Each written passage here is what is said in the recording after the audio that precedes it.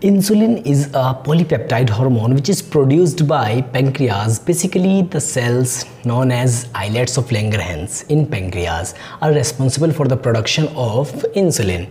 So before moving to next step, we have to understand these important information, informative terms. That means the normal production of insulin in human body is about 40 to 50 units. एक दिन में human body में 40 से 50 insulin की units बनती हैं, किसमें? Islets of Langerhans in pancreas after that this is the normal concentration of insulin in human body plasma and the gene which is responsible for the production of insulin is located on chromosome number 11 in the cells of pancreas which are known as islets of Langerhans and it also responsible for uh, basically it promotes the synthesis of glycogen proteins triglycerides etc and one most important thing is that it has been implicated in development of diabetes mellitus in humans. After that uh, moving to next part before moving to next part we have to understand the structure of two precursors of insulin biosynthesis से पहले इन दोनों structure को समझना बहुत ज़्यादा important है। तो चलिए देखते हैं क्या होता है। इंसुलिन में इंसुलिन के प्रोडक्शन में सबसे पहले दो प्रिकर्सर्स की ज़रूरत पड़ती है। Pre pro insulin which is this and pre insulin which is this pro pre insulin contains 108 amino acids and pre insulin contains 86 amino acids in its peptide chain उसके बाद में अगर हम प्रो प्री इंसुलिन की structure की बात थोड़ा detail में करें तो इसमें एक प्रेजेंट होगा B chain basically B chain थोड़ी बड़ी होती है well this is B chain and this is A chain okay and this is rest the curved structure is C chain, ये बाकी का बचा हुआ हो गया सी चेन। तो इसमें एक ए चेन होती है जो कि छोटी होती है लेंथ में और एक बी चेन होती है जो एल चेन से कंपेरेटिवली थोड़ी लेंथी होती है। उसमें ज़्यादा अमीनो एसिड्स प्रेजेंट होते हैं। So this is the structure of pro pre insulin the first precursor of insulin after that similar इसमें भी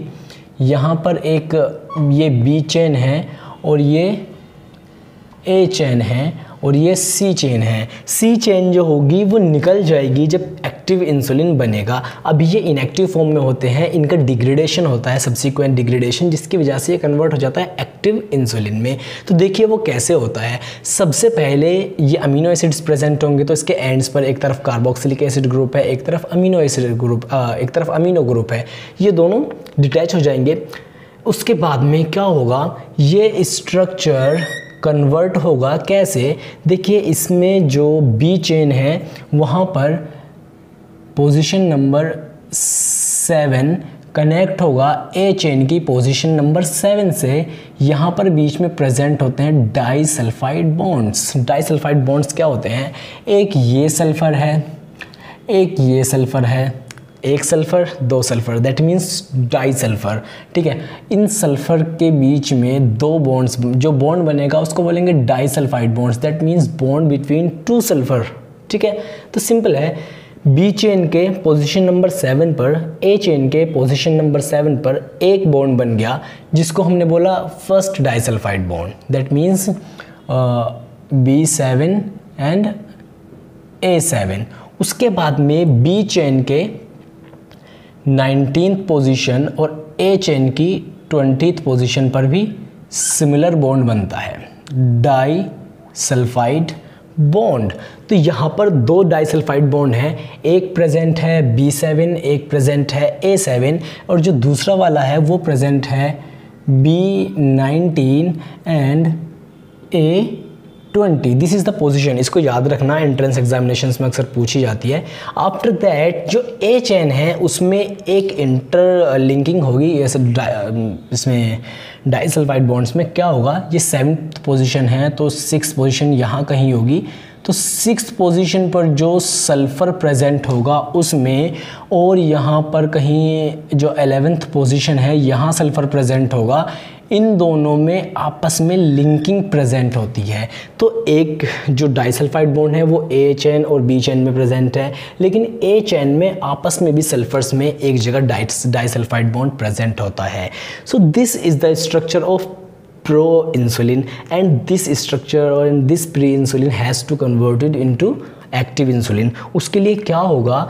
ये दोनों चेन जो ए चेन और बी चेन अब आपस में जुड़ गई हैं तो इनसे डिटैच हो जाएगी, ये सी चेन सी चेन इनसे डिटैच हो जाएगी अलग एकदम, और बचेंगी सिर्फ़ ये दोनों चेन और सी चेन अलग निकल जाएगी। मान लीजिए इधर हो गई, अलग, हट गई, सी चेन ये हो गई। So this is the active structure और this is known as the active insulin जिसमें कि एक बी चेन है और एक ए चेन है। इनमें आपस में डाइसल्फाइड बॉन्ड्स प्रेजेंट होते हैं। सी चेन अलग निकल जाती है, जिसका इसमें कुछ रोल नहीं है। बेसिकली कुछ और आगे होगा डीप में पढ़ेंगे उसको। So this is the structure of insulin तो ये इंसुलिन का स्ट्रक्चर बनता है प्री प्रो इंसुलिन से और प्रो इंसुलिन से किस तरह बनता है वो मैंने बता दिया। अगर आपको इस तरह की इंफॉर्मेटिव नॉलेज और चाहिए जो जिससे कि इंट्रेंस एग्जामिनेशंस में कम्पिटिटिव एंट्रेंस एग्जामिनेशंस और university examinations for example NEET NET इस तरह के एग्जामिनेशंस में बहुत ज़्यादा हेल्पफुल है। तो उसके लिए आप मेरे हैंड रिटन नोट्स को डाउनलोड कर सकते हैं। नीचे डिस्क्रिप्शन में आपको लिंक मिलेगा, वहाँ से डाउनलोड कर लीजिए। वीडियो कैसा लगा कमेंट करके ज़रूर बताना और लाइक और सब्सक्राइब करना मत भूलना। Thank you